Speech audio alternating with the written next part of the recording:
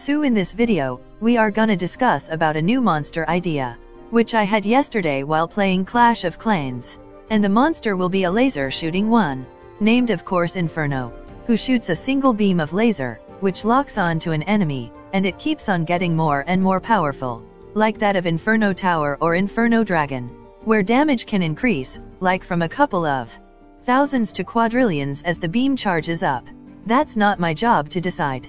And this monster will be the perfect counter for something like Lord of the Tower, but just so that it don't become an absolute menace. Certain measures can be taken, like not giving it massive range, so that players still need to strategize about her placement. Then she should be having a single beam, so if she don't locks on to big and bulky enemy, her beam is wasted. And just because she is a boss-killing monster, she should have much lower chances to be summoned like even less than a mythical. I'm not pitching for a new rarity here but I mean she at least got to be a mythical, though I don't know where she will fit. So maybe a new pantheon.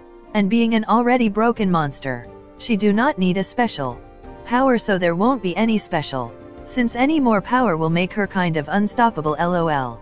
But if Pixio still want to add something, the best ability for her will be to either freeze enemies or to stun them.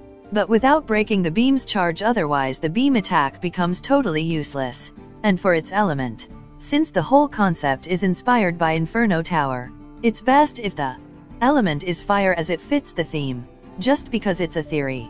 I'd say that Inferno, getting paired with Anubis and Siren will be a wrecking machine lol.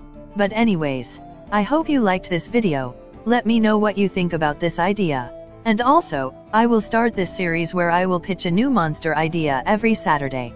Thanks for watching, just keep grinning and Aura is mine.